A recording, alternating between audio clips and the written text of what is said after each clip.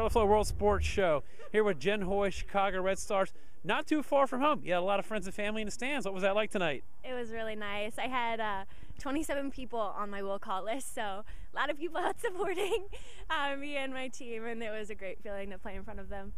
Now, what's this like being in Chicago? You quietly, everybody talking about the Seattles and the Portlands, but you guys are suddenly in second place. Yeah, I mean we're we're just uh, doing our thing and trying to fly under the radar. That's what we say a lot. Uh, work hard and and get the three points. your team. we sure Oh, do. it's she's awesome. No, she's great. She's definitely.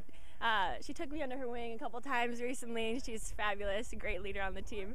So what's that like being just coming in, like like they talk about the rookies, like being thrown into the fire, but you've come in and had success. I mean, what do you owe that to? Oh, I, I owe that to my teammates. Um, they they uh, push me to work harder and do better every single practice, every day. And uh, to my coach uh, and my assistant coaches, Rory has given me a, a huge opportunity and he's put a lot of trust into me. Um, and I'm very thankful for that. It's also interesting that, that playing at Princeton's not too far either. You know, a lot of that East Coast connection. But what has Chicago been like for you? Uh, it's been cold for a little while until recently.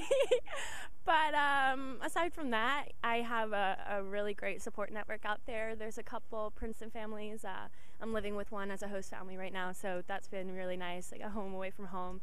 Um, and again, the girls are great, so it's like another family. We really are, uh, I, I feel like a close team, and it's great to be a part of.